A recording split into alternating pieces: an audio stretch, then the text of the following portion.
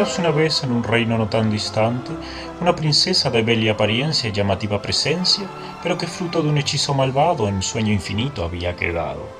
Así en lo alto de una torre, encerrada y en sueños eternos, la bella princesa recluida dormitaba.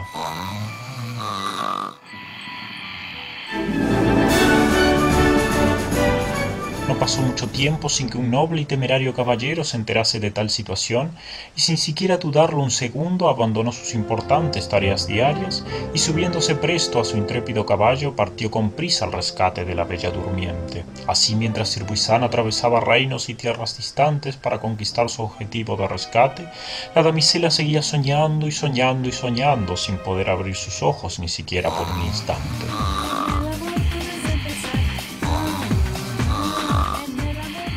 Finalmente Sirbuizán logró llegar al lugar, pero más sin poder descansar después de tan largo viaje, tuvo que ponerse a trabajar ya que hasta lo alto de la torre debía trepar. Y así, luego de probar diferentes tácticas y aplicando su aguda viveza, descubrió que por el cielo era más fácil llegar.